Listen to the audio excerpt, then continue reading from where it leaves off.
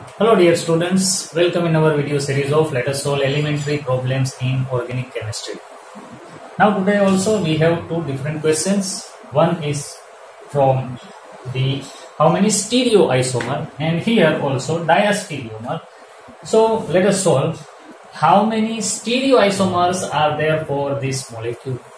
Now stereoisomer means optical isomer. And to find out the stereoisomer, we have to find the total number of stereocenters present in a molecule. एक molecule में जितने भी stereo centre हो वो हमें पहले find out करने होंगे।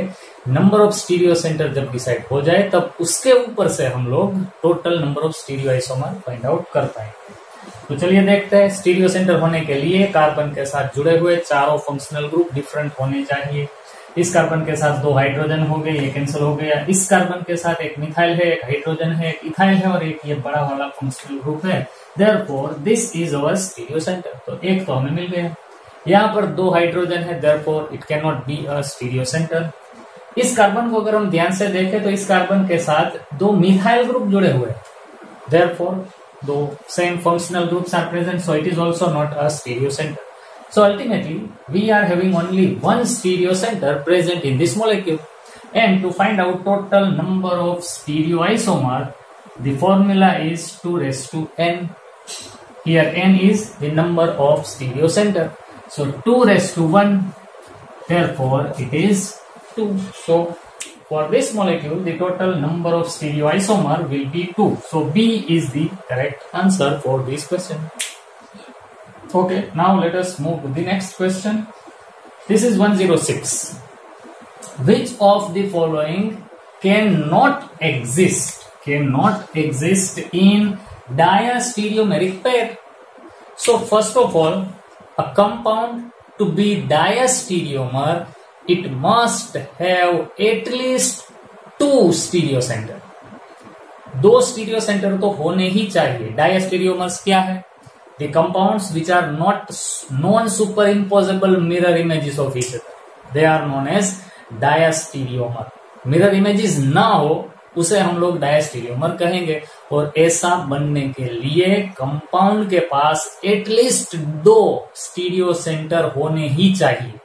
अगर एक ही स्टीरियो सेंटर हो तो वो डायस्टीरियोमर नहीं बनाता कभी। ये बात हमें ध्यान में रखना है। दो मोलिक्यूल्स के मोलिकुलर फॉर्मूला सेम हो, लेकिन they are not mirror images of each other in such cases both this molecules are said to be diastereomer mirror image ही नहीं होगा, उसे डायस्टीरियोमर कहेंगे।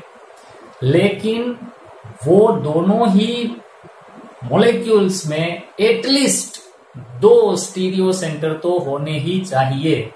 एक ही स्टीरियो सेंटर हो और मिरर इमेज चाहे ना भी बनाते हो, फिर भी वो डायस्टीरियोमर की कैटेगरी में नहीं आते।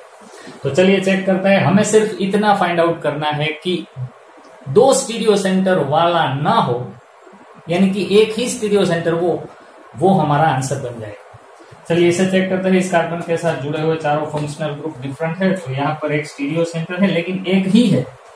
Okay so question is over this is our answer because it is having only one stereo center.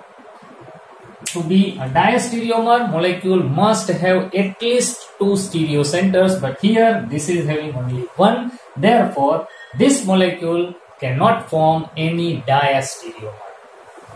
All the other molecules are having two stereo centers, therefore, they can have diastereomer. Okay, so that's all for today. If you like the video then press the like button and if you are new then subscribe our channel press the bell icon as well. Till we meet next time. Have a nice.